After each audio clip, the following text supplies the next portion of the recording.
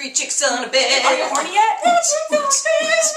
Three chicks on a bed. Break it down now. Three chicks on a bed. Three chicks. Three. You got the chocolate. Three chicks. Oh, with booze. Hi, uh, it's us, it's Booby Hatch, and uh, we just wanted to wish everyone out there a very happy Valentine's Day. Um, uh, uh, hopefully you're having a great Valentine's weekend. Uh, maybe you're celebrating uh, with, with someone you love. Um, You know what's weird though?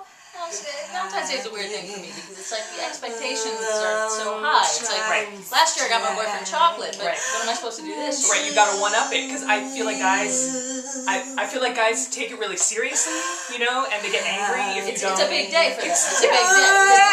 Valentine's To the love of and Katharine.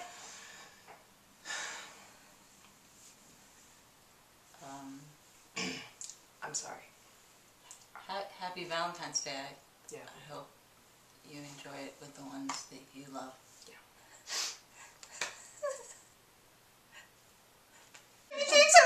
Break it down now. Three chicks On a bed, three chicks. You got the chocolate, three chicks. Oh, I just wanted the chocolate.